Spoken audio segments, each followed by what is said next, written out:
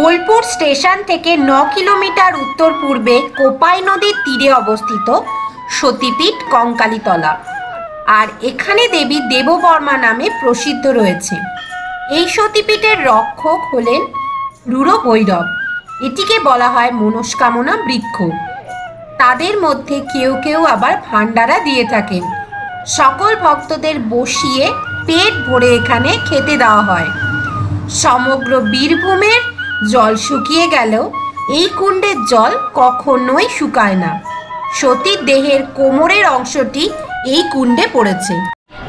আজকে আমি আছি কঙ্কালীতলা মায়ের মন্দিরে। এটা হচ্ছে শান্তিনিকেতনের খুব কাছে বোলপুরে অবস্থিত এই কঙ্কালীতলা মায়ের মন্দির। তো এই মায়ের মন্দির খুব জাগ্রত। সতী মায়ের একান্নতম যে পীঠ আছে, সেই পিঠের মধ্যে এইটা হচ্ছে অন্যতম একটি জায়গা কঙ্কালীতলা মায়ের মন্দির। তো এই মায়ের মন্দির খুব জাগ্রত। অনেক দূর দূরান্ত থেকে মানুষ আসে এই মায়ের মন্দিরে পুজো দিতে এবং মনের অনেক কামনা নিয়ে আসে এখানে।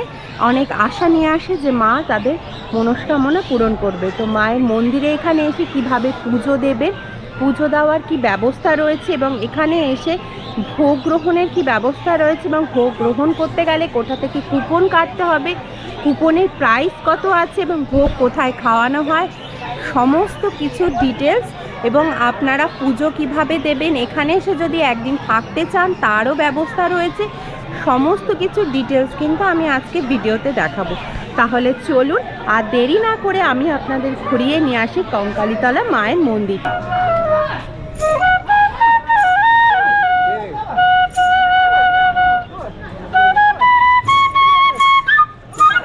সবার প্রথমে আমরা আগে জেনে নিই যে কঙ্কালীতলা আপনারা আসবেন কীভাবে। কলকাতার, হাওড়া এবং শিয়ালদা থেকে প্রচুর ট্রেন আছে বোলপুর আসার জন্য। তো আপনারা যে কোনো একটি ট্রেনে করে বোলপুর পৌঁছতে পারেন।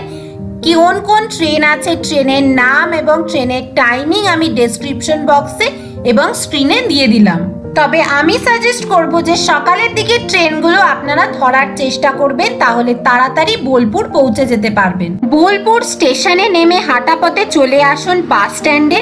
সেখান থেকে বাস ধরে কোপাই নদীর তীরে ন কিলোমিটার দূরত্বের রয়েছে কঙ্কালীতলা মায়ের মন্দির। তো কঙ্কালীতলা মায়ের মন্দিরে আমরা পৌঁছে গেছি, তো মন্দিরের সামনেই অনেক ডালার দোকান আছে, তো চলুন ওখান থেকে একটু দেখে নি কত কি প্রাইস আছে। তো মায়ের পুজো দেওয়ার জন্য এর ঠিক সামনে বিভিন্ন ডালার দোকান আছে।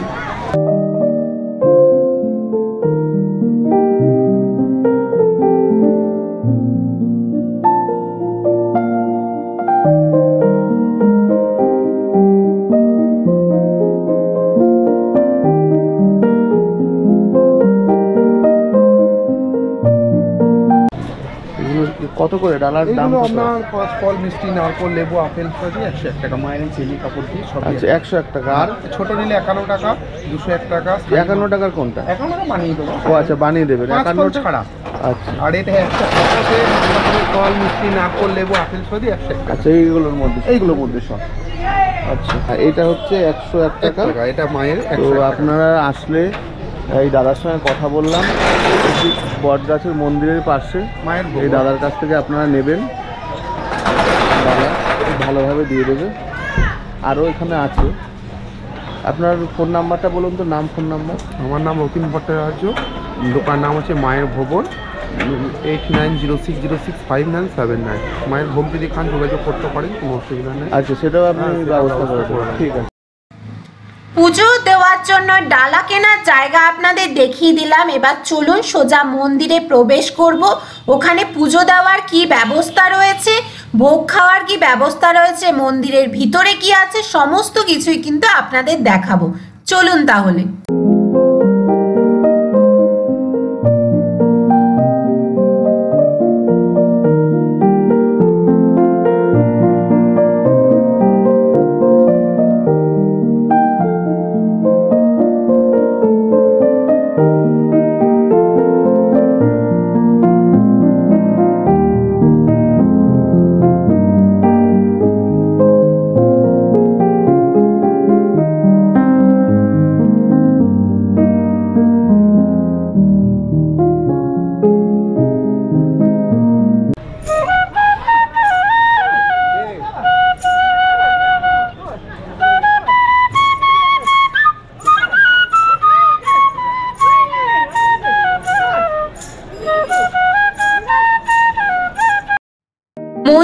ঢোকার সাথে সাথেই মন্দিরের পাশে, গাছের তলায় এই সাধু বাবার বাঁশির সুরের তালে আপনার মনটা পুরো ভরে উঠবে।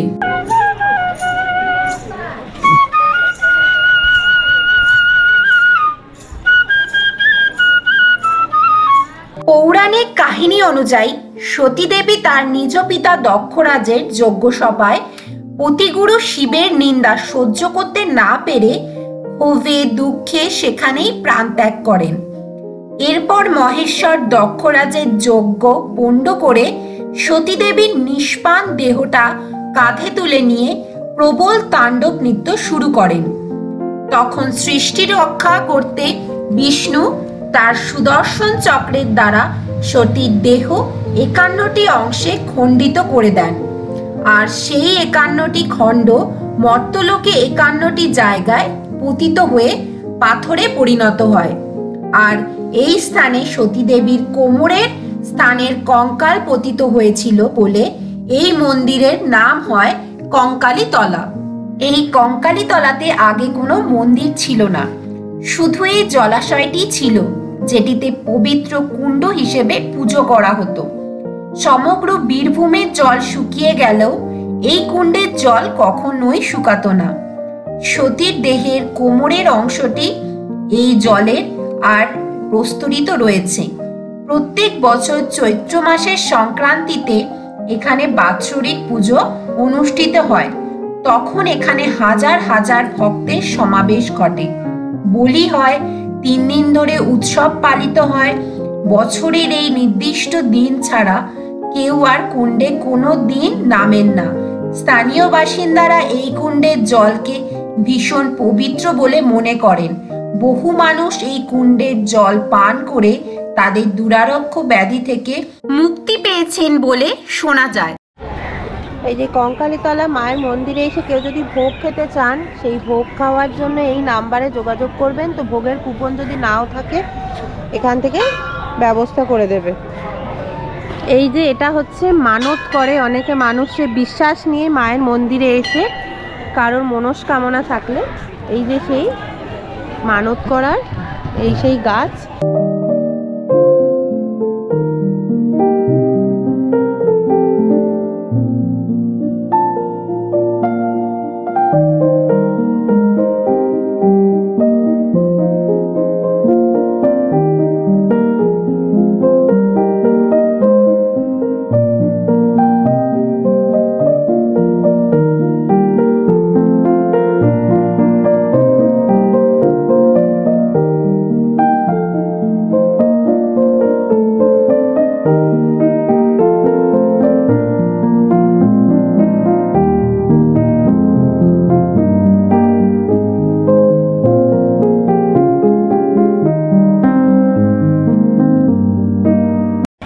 হচ্ছে ভোগের ঘর। এই সামনের এই ঘরটা হচ্ছে ভোগ মন্দির। এখানে ভোগ খাওয়ানো হয় আর তার ঠিক ওপাশে আছে ভোগের কুপন কাটার কাউন্টার এবং ভোগ রান্না করার রান্নাঘর। তো চলুন আপনাদের এই কাউন্টার এবং রান্নাঘর এবং ভোগ খাওয়ানোর জায়গা সমস্ত কিছুই দেখিয়ে নিয়ে আসি।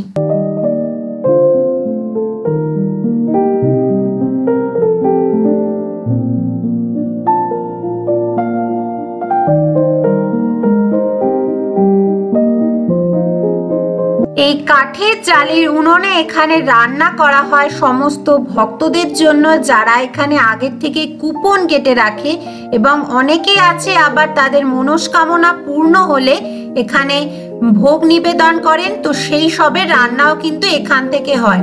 এবং ভোগ খাওয়া এবং ভান্ডারা দেওয়ার এই যে ফোন নাম্বার আছে, তো এই ফোন নাম্বারে আপনারা কল করে ভোগের কুপনও কেটে রাখতে পারেন আগের থেকে। পঞ্চাশ টাকা করে। ক- দেখো কজন কত খাবে? করে আপনাদের? টিকিট মূল্য কত?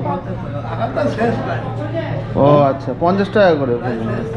আর ভোগের কুপন এখান থেকে কেটে নিতে হবে পঞ্চাশ টাকা পার টিকিট মূল্য। আর এই যে এটা হচ্ছে ভোগ মন্দির কুপন কাটার ঠিক অপোজিটেই রয়েছে এখানে। তো একসাথে অনেক লোক এখানে বসিয়ে খাওয়ানোর ব্যবস্থা রয়েছে।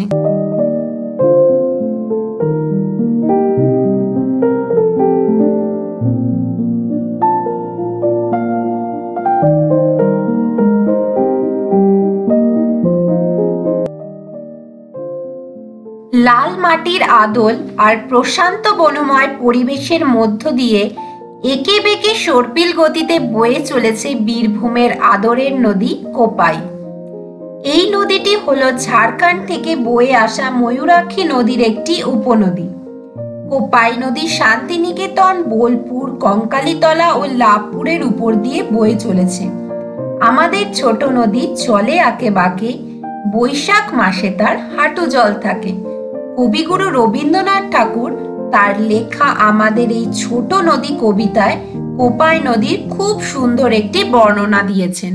তো রবীন্দ্রনাথের লেখা যে কোপাই নদী কবিতাটি ছিল, যে আমাদের ছোট নদী চলে আঁকে বাঁকে, বৈশাখ মাসে তার হাঁটু জল থাকে, এই সেই কোপাই নদী। ভালো করে খেয়াল করে দেখুন আপনারা নদীটা কিন্তু এঁকে বেঁকেই গেছে। এই যে, এই মাথা থেকে শুরু করে ওই দিকে বেঁকে গেছে, আবার এদিক থেকে শুরু করেও বেঁকে বেঁকে গেছে। সেই ভাবনা নিয়েই রবীন্দ্রনাথের এই কবিতাটি এবং এইখান থেকে কোপাই নদীর গভীরতাটা কিন্তু বেশ ভালো।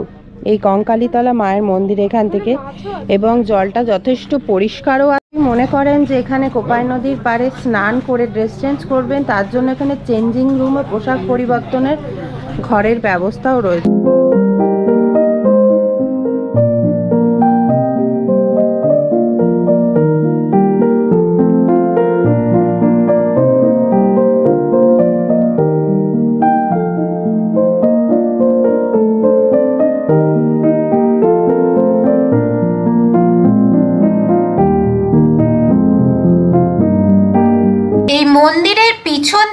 নতুন একটা মার্কেট এরিয়া হয়েছে যেখান থেকে পুজো দেওয়ার জন্য ডালা সামগ্রীও পাওয়া যায়, প্লাস ঠাকুরের কিছু জিনিসপত্র কেনার ছোট ছোট দোকানও রয়েছে। তো এখান থেকে আপনারা কিছু কেনাকাটিও করতে পারেন।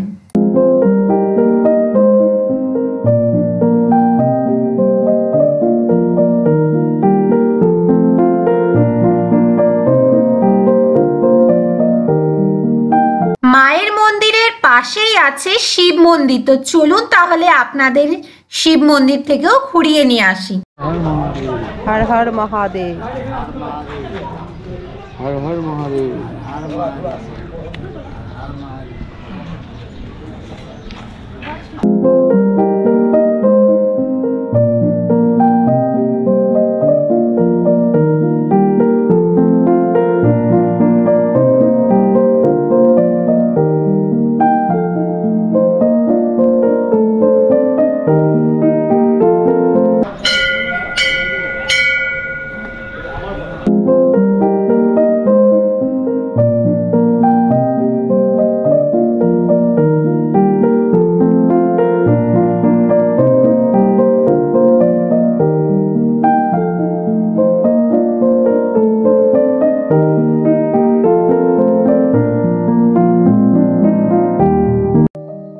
তো কঙ্কালীতলা মায়ের মন্দির ঘোরা হয়ে গেলে আপনারা সোজা বোলপুর চলে গিয়ে ওখানে ভারত সেবাশ্রমে থাকতে পারেন।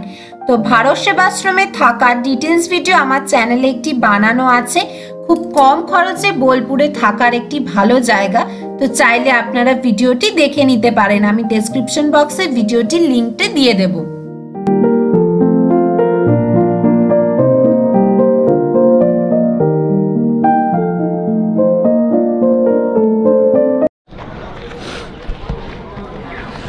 যে কঙ্কালীতলা মায়ের মন্দিরের এটা পার্কিং এরিয়া, এখানে মোটামুটি কুড়ি টাকা নেয়।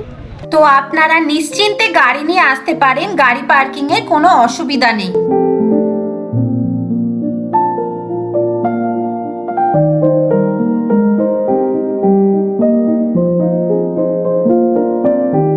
এই ছোট্ট ভিডিওটির মাধ্যমে আমি কঙ্কালীতলা ভ্রমণের সমস্ত কিছু ডিটেলস ভিডিও তুলে ধরেছি।